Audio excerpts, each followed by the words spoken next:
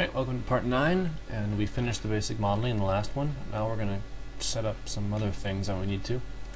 So I was playing around with that light last time that I just saw, that you just saw, and uh, wasn't very bright even though it was at 30,000 multiplier. And that's because our units were wrong. So what I went, what I did was customize unit setup, metric, and just change it to meters. So currently our lantern is 9.61 meters tall. Yeah, not, not going to fly. Let's just select um, just our lantern. Alright, select perspective in this too. Let's make sure this is actually working. Nope, I missed something. Let's select that box too. There we go. Let's just scale this down to a more reasonable size. So maybe maybe that. We want it to be about Oh, I don't know. Um, maybe. Let's see. Um, let's see. Point five? So maybe like point one? No, point was too small. Point two five, I guess. Sounds about right. Actually, let's just do 0.3. It's probably about right size. So let's bring this over and continue scaling. Because what will happen is our lights will not work if this is a wrong size. They, well, they might work, but it'll be a problem. There we go. So now our lantern is the appropriate size and we can get rid of that light. There we go. Whoa, why is it? We're in orthographic, that's why. There we go. Yeah, when it does weird things, just look over here. If you're on perspective, something's wrong. So what we want to do now, I guess, is just start the basic scene. So you can see here we already kind of have some basic dimensions, so let's actually start up with a box and I'm just going to auto grid it to the bottom of these feet here. There we go. And you can see on the picture how we have a little bit of runout, like you know, a couple centimeters here and you know a few here. So I'm going to try to emulate that. So just get this to kind of you know the same general look. We'll put a camera in soon, but I don't know how this is possible this look they have is not gonna fly. Alright, let's add our camera in first, I guess. So I'm just gonna use a V-Ray camera, a physical cam. You can do this in Mental Ray too, I would imagine. Uh, let's just pick an angle. Let's come from here, camera. And let's find out where we are in space. So I feel like we just made a big mistake here. I don't even, oh, there it is. Okay. Let's bring this down. Front Z. There we go. Now we go to camera, we should be able to see something. So let's just align this to get it looking generally the same. And you can actually turn on um, safe frames so you can see what you're looking at. Okay, zoom in, and let's see, it shows this side more than the other. Is there nothing here? Oh well. So let's kind of come over here. Not quite that much. Right here. And then let's see, the top touches the top of the frame, so let's zoom in a bit more. Okay. And it's more off to one side. So right about, oops. Mm, here looks close enough. So from here, let's go to perspective and see if we can't lock our camera somehow. There we go, camera locked. I can probably, you can, oh good you can't, never mind. So, actually, oh crap. Um, unfreeze all. I want to object properties, hide and freeze. There we go. Now it's not in my way, but I can still see through it. So what you can do, go to your camera here, and then make another perspective view, and let's see, get rid of the grid. Select this, and convert to an editable poly. God, this, this pink color. All these colors it chooses, and I get pink. Why? I ask. Why? So, let's start adjusting. So, what are these doing? Nothing. Oh, the view is disabled apparently. Why is this disabled? Oh, I think I did that. Damn.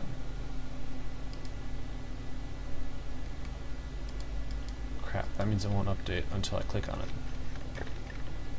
So, let's uh, unfreeze all. Can I like undisable this view somehow? Um, hmm. D. That's how you do it. D. Okay, so unfreeze all, unhide all, and whoa, there's box. Ah, that box. I remember that box. Let's delete this box. There we go. So, now select your camera, um, object properties, hide and freeze. Okay. There we go. Now I can't move it and it won't be disabled. So, select your object. There we go. Alright, so select these. Again, I'm just matching it to the picture, or attempting to. So let's see, this is kind of close. Okay. Um, these are a little farther away. Table seems to extend at least to here, and I would imagine a table and a lantern, probably about, oh, this big I'd say. Okay, and then click here, and just extend the table out to a kind of desk. I think it's a desk. There we go. And let's see, what else do we have here? I'm actually going to give it a bit more of an upper angle. If I can, I don't think I can. Oh, good, I can move it. Oh crap, that's bad, I can't move it. Oh well.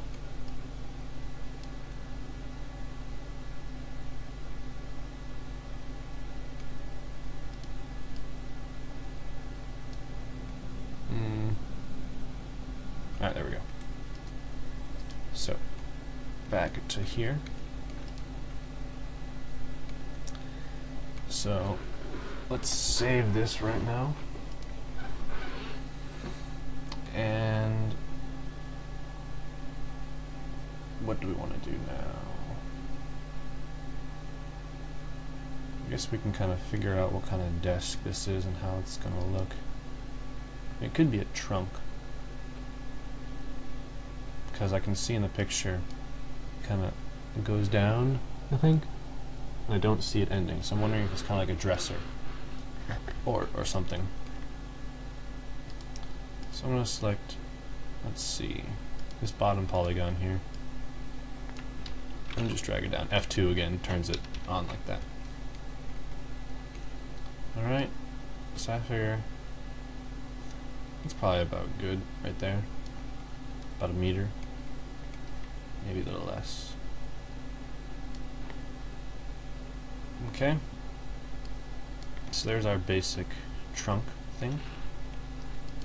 Now, on the edges of this, there's some, like a little lip. So we'll just make that bevel. This is the problem in working in small units, though, is I can't do my freeform beveling, if you will. So W, bring this in. Okay. And let's scale it in just a bit. Select the polygon, inset. Whoa, there's, there it is. Inset a tiny bit. Extrude downward. Okay.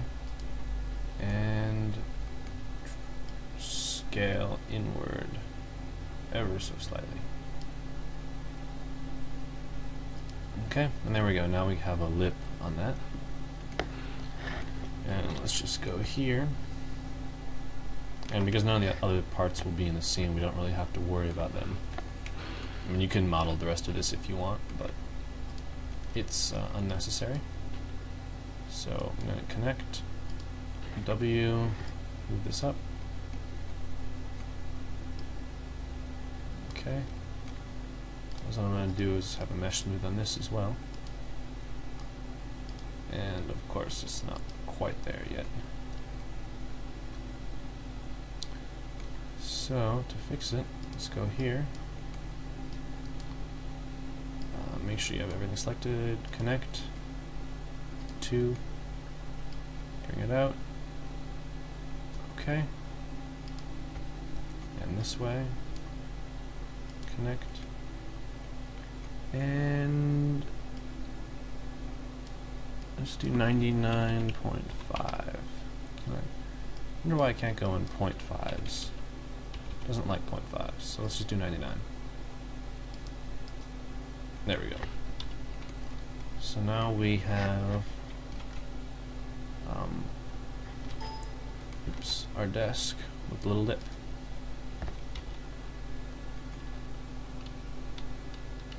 Okay. I'm actually going to make everything this this tan color just because it's easy to see for now. It was just the basic wood shader I had made before in Arch Design. Actually, I didn't even make it. It was already made. Oh. Okay. Just be black. There we go. Um. Oh, I forgot an edge. So. Select this way. Did I forget this edge? I did. Connect. And okay. There we go. Now it's nice and smooth. If you go to camera render out, nothing will probably happen. So I have um, global illumination turned down and, what and whatnot, and there is no light anywhere. So, just to see what happens, set a V-ray light right here, W, bring it up, and these are just my settings I had before. It'd probably be a huge orange blob, or nothing at all. We'll see. Hmm. Well, apparently nothing at all. Very odd. I wonder why. Because you'd think something would be showing.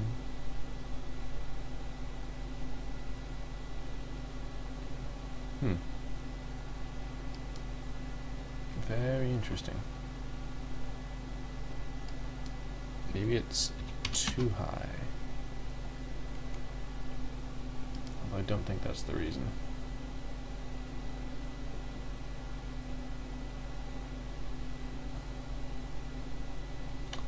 Huh. Well, I will troubleshoot this further, and I will see you in the next part.